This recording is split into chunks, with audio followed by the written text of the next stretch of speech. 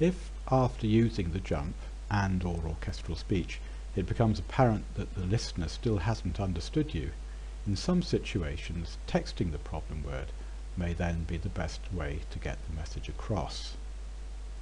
In this slideshow I'll discuss how in some situations the jump and orchestral speech can be combined with text messages to ensure that you do get a message across and consequently also to reduce your fear of blocking.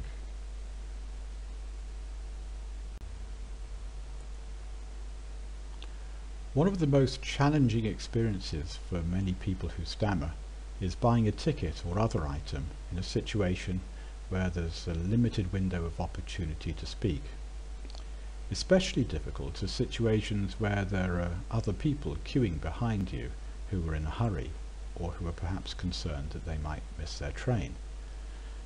In such situations, orchestral speech is the most suitable method to use to get your request across because if you do it properly it'll prevent you from blocking and will give you full control over the speed with which you get the words out.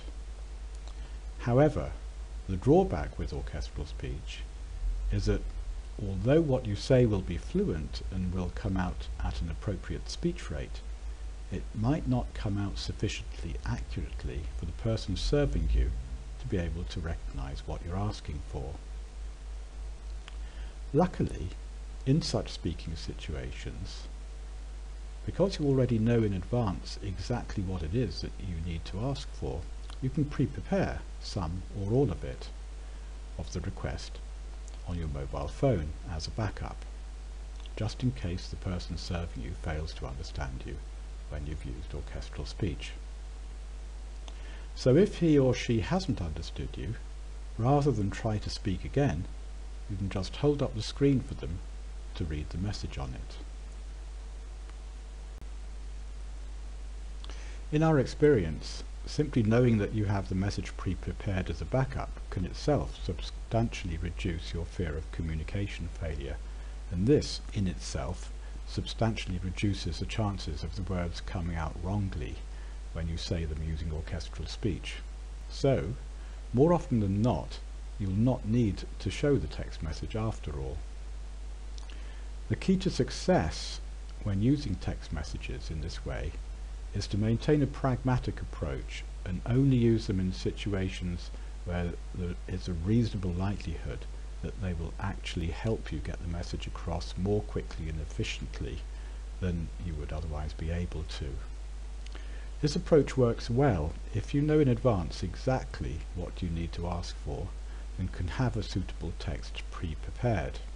However, may not work, it may not work so well if you need to start creating the text message while the person serving you is waiting for your response, especially if he or she doesn't realize what you're doing.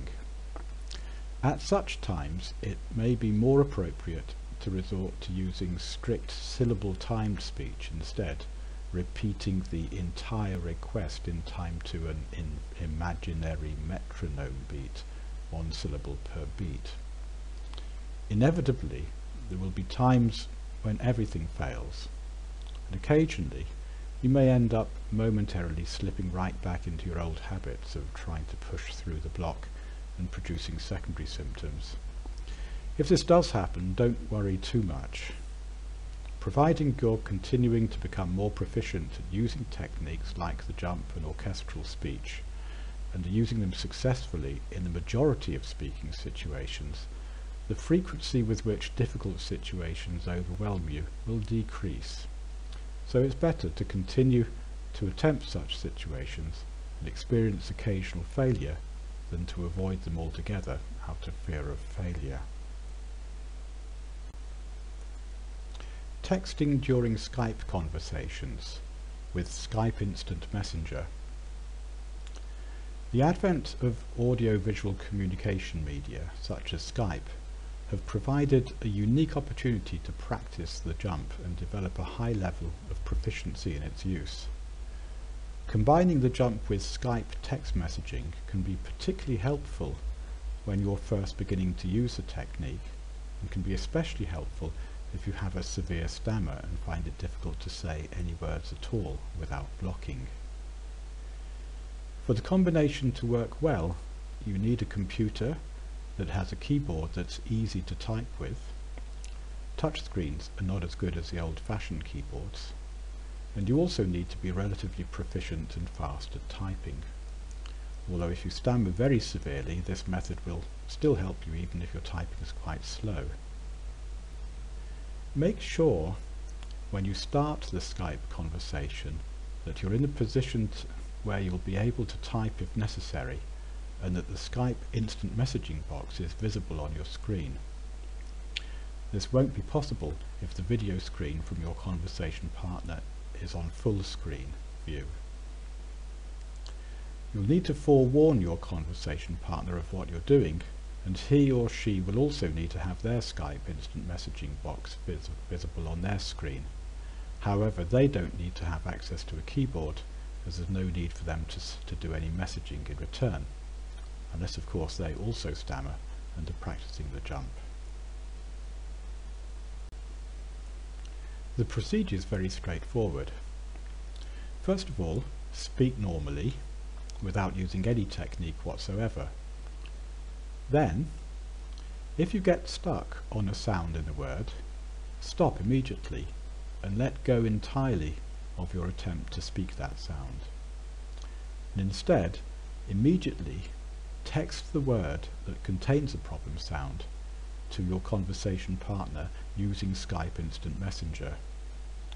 You need to press enter or the return button to send the message. Then, as soon as you've pressed enter, start speaking again from the next sound, if you're able to.